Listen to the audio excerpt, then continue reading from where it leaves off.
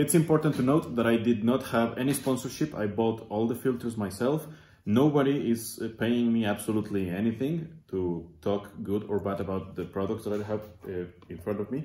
This is just me doing my own research and sharing my results with you. Hello everyone and welcome to the channel. In this video I'm gonna be showing you a couple of Fram filters that I opened and the very disappointing surprise that I found. So let's get this video on the way.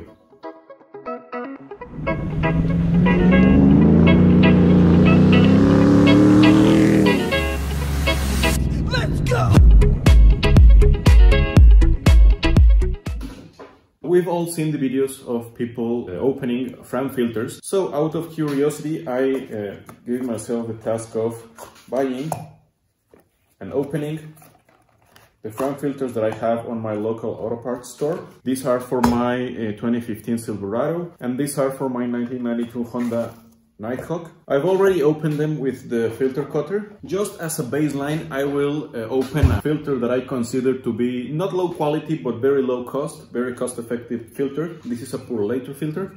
This is also for my Honda Nighthawk. And you can see this is a cartridge. Very nice, very good quality cartridge.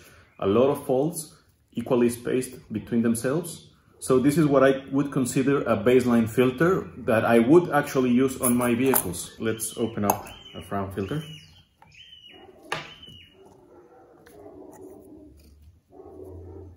This is not looking good.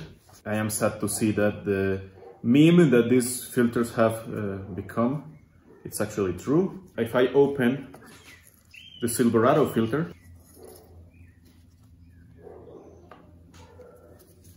it's like the same.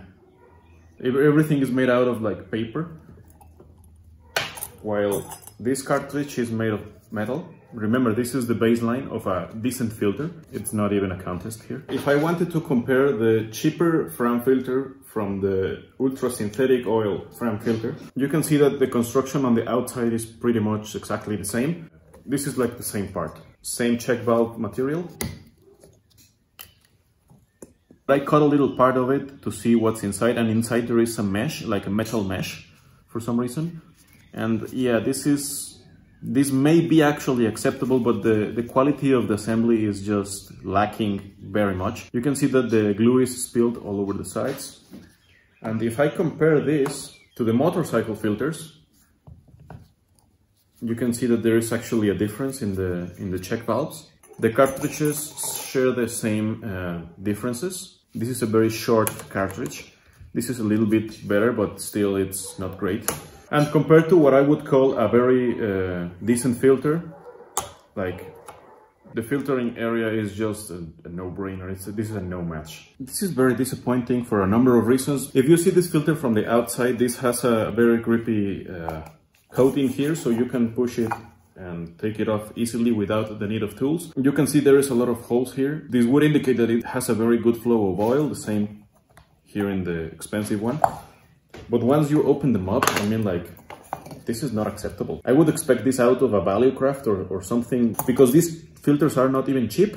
I mean like they're, they're, the price difference between these two is like not existent or maybe this one is even cheaper than that and this is so much better. It all boils down to would I use them in my truck? This one, not a chance. The same thing goes with my motorcycle. Uh, would I use one of these? No, absolutely not.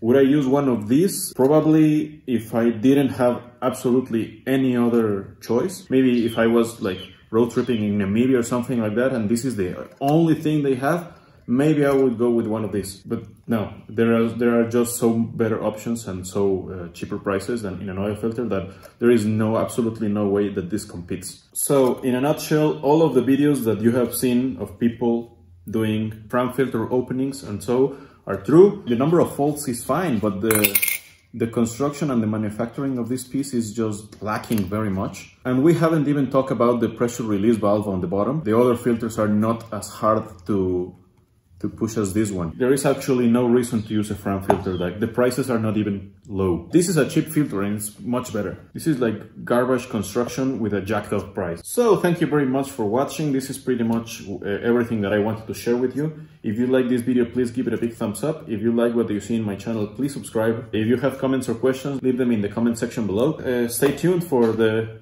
unboxing and opening of the other brands of filters. Have a fantastic day.